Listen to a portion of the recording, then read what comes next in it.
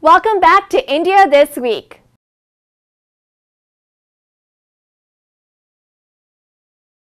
On Friday, India successfully test-fired its indigenously developed nuclear-capable surface-to-surface Agni-1 missile. The Strategic Force Command of the Army tested the missile that has a strike target of up to 700 kilometers. Test Range Director MVKV Prasad said the test was successful and it was a textbook launch. The Agni-1 missile, already inducted to the Indian Army, has a specialized navigation system with a high degree of accuracy and precision. It weighs 12 tons and can carry payloads of up to 1,000 kilograms. The missile was launched from the Road Mobile Launcher System in Odisha and reached a target point in the Bay of Bengal. It was tracked by radar and telemetry stations located along the coastline. The government has rejected Bharatiya Janata Party's demand for Special Protection Group security for its prime ministerial candidate, Narendra Modi. Minister of State for Home said the current security is adequate for Modi and BJP is trying to rake up the security issue to score political mileage. There were reports that Modi is in the hit list of the Indian Mujahideen, a terrorist outfit. The militants hold Modi responsible for the riots in Gujarat in 2002 that killed more than 1,000 people, most of them Muslims. In another development, senior Obama administration officials said the U.S. would be willing to work with Narendra Modi if the party is voted to power in the next general elections. Here have said asserting that the enduring bilateral relationship is to continue irrespective of the poll results.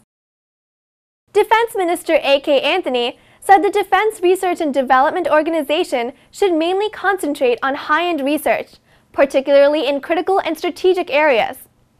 Speaking at a meeting of the Consultative Committee, he said, DRDO should also invest more time and resources in fundamental research lay more emphasis on major mission mode programs for armed forces, and pull together resources and talent available in academic and other research and development institutions.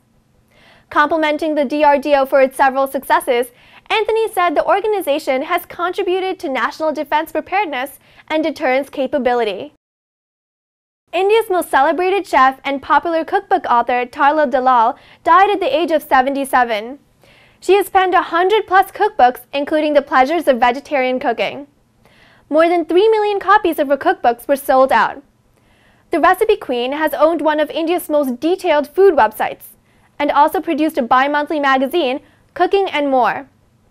Her cookery show, Cook It Up with Tarla Dalal, has been a hit in Southeast Asia, India, the Gulf, the UK, and USA. She started her career as a humble home chef in 1966 in 2007, she was bestowed with Padma Shri Award.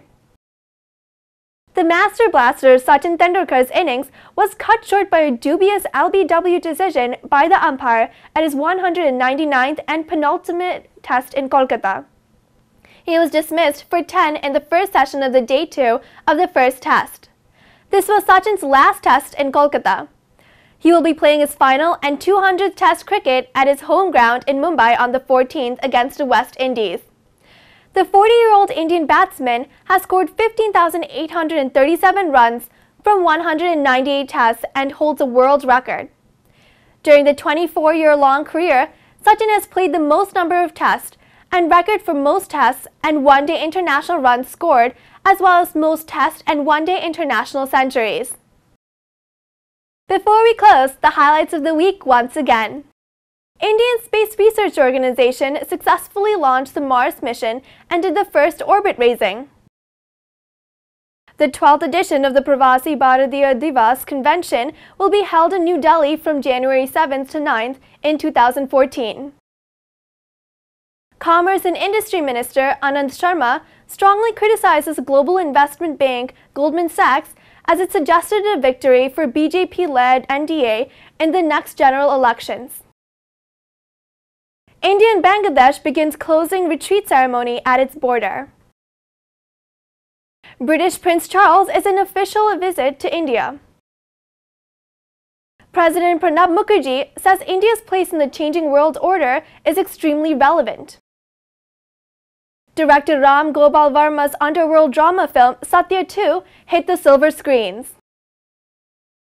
India successfully test fires indigenously developed nuclear-capable surface-to-surface Agni-1 missile on Friday.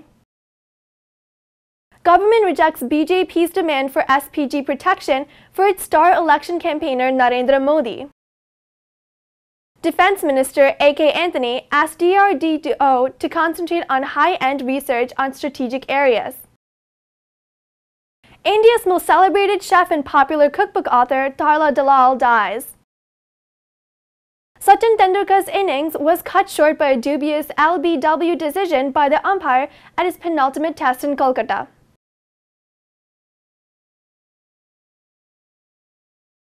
That's all for this week. I am Lisa Thotamari signing off. Wish you wonderful days ahead. See you next week, this time.